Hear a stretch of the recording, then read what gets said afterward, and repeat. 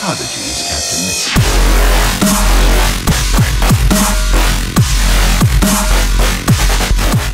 Ladies and gentlemen, Deutschbag here with another Let's Play Gran Turismo video. Uh, this time I am taking a look at the Lunar Exploration Challenges. Uh, there are three challenges to this, and uh, right now we're looking at the first one. Uh, with the first one, there's not really a whole lot to say.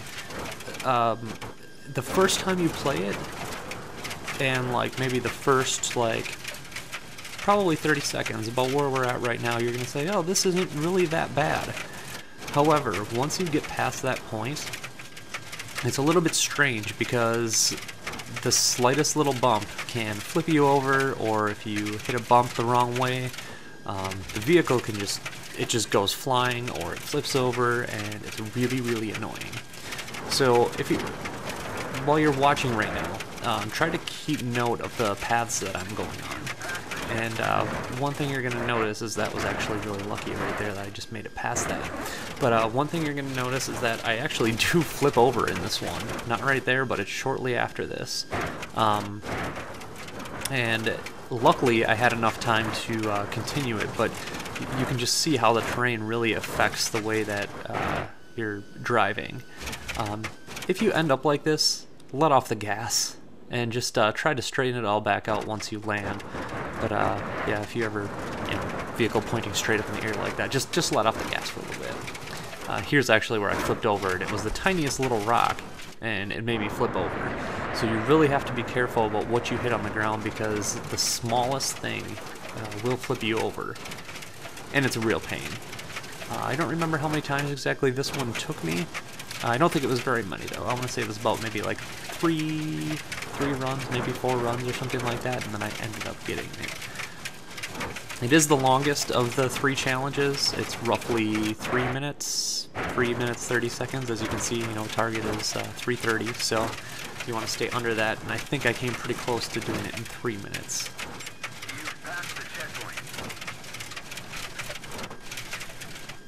This one's actually probably the most boring out of all of them because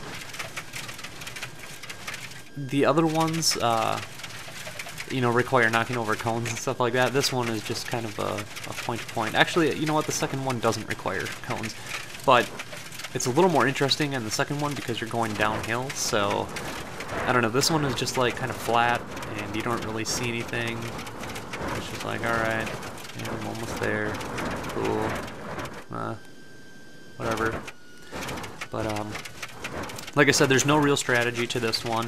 If you take a look at the uh, the path that I took, you can see that. The, oh, I, oh, I thought I flipped over there too. Apparently I didn't. Cool. But uh, just watch the path. That's that's really all there is to it. Be careful for anything that's on the ground. Steer around it if you can. Um, there might be an alternate path that works better for you. This is just the way that I was able to accomplish this uh, and get a uh, get a gold. Now with the second one here, it's uh, like I said, you're kind of going downhill, and uh, like this actually looks cool. Like you can kind of see the the background there. Like you see this huge crater, and I don't know. It to me this one was just more interesting.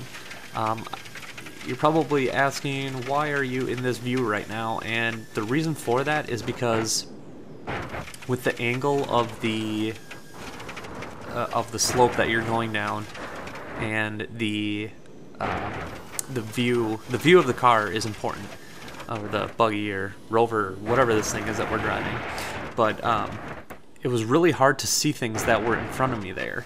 So I had to use this view in order to uh, get around certain rocks or get around. There's uh, like holes or craters uh, all over the place, so it was awesome. Uh, this view was awesome for avoiding those.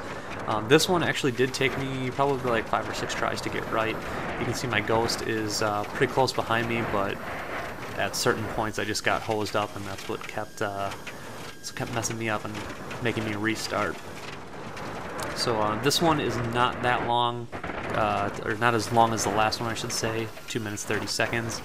So That's nice because it's at least a little bit shorter, but still a pain nonetheless. I, I think it's funny that my ghost actually passes me here, and that's the part where I got messed up, is I went right down in that little gutter there, and uh, yeah, see, you could see my ghost flipping over, so that's where I lost a lot of time. Um, those are things you want to be very careful about because it's like even if you hit the brakes, as soon as you come out of there, uh, you saw that there was like a pile of rocks, and if you've played through the first the first one, you know that uh, those rocks, like as soon as you hit those, you're you're pretty much done for.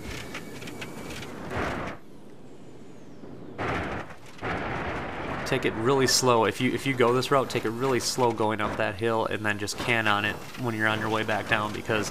Um, if you continue to gas it while you're uh, while you're at the uh, top of that, you're just gonna go flying over it, and you're probably just gonna uh, flip your little buggy over. So uh, just slow down, and as soon as you get to that that peak point, um, like I said, just can out it again, and you'll be able to like just jet right to the finish line here.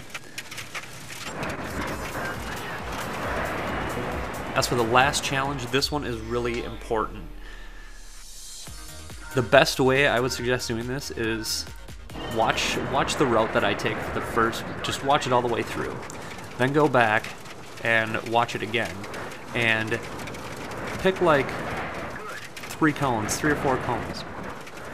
Do four cones at a time, quick hit the pause button, and then, uh, you know, watch the next four cones in the video, and then go back and try to get those next four done, or five, however many you feel like doing, or you feel uh, you can handle.